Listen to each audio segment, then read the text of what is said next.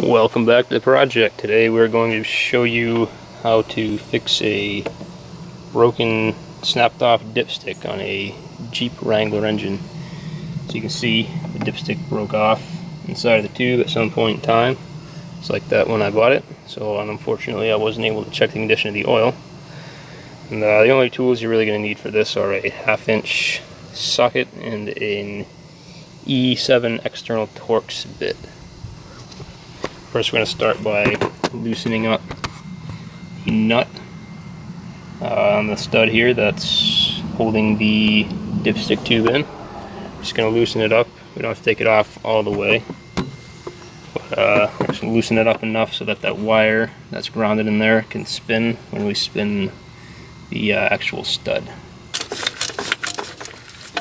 Okay, got it loosened up enough where we can just take this wire and move it and that's all we need. Now we're going to use the E7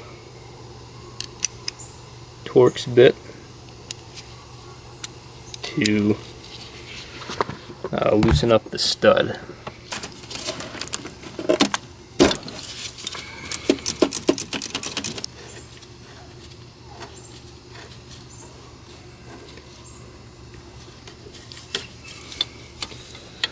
Got that loosened up, we're just going to Push it off to the side now.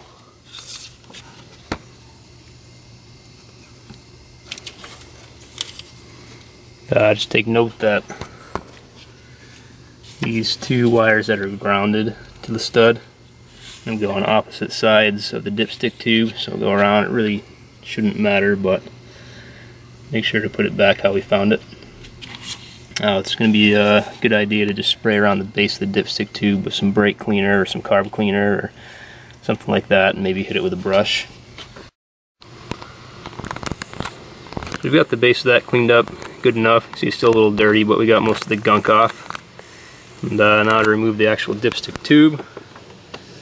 Uh, we're going to just kind of work the, the tube back and forth. It's more or less kind of a press fitting into the engine. There we go. Now just make sure you don't drop anything in here while you're doing this.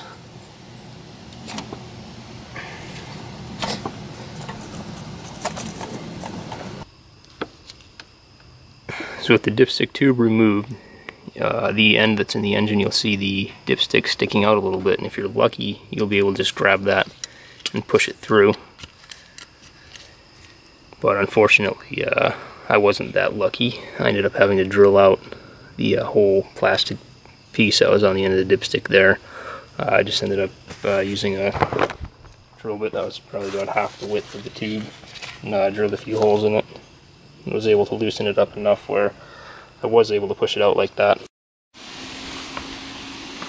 So once you have the actual dipstick removed from the dipstick tube, you're going to want to clean both the inside of the tube and the part that goes back in the engine uh, clean that real good with some brake cleaner or carb cleaner, uh, whatever you have. Definitely helps to have it in an aerosol can to get it inside there. So we're just going to clean that up. We're going to slide it back into the engine, put the stud back on, tighten the nut, and uh, we'll be done.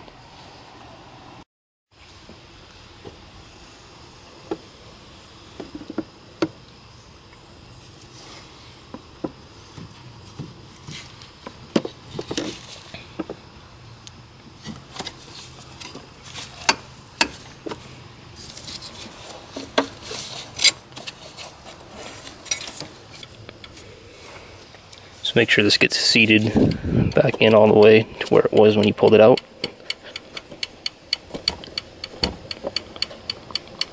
Might help if you put some oil on it. Leave it up a little bit.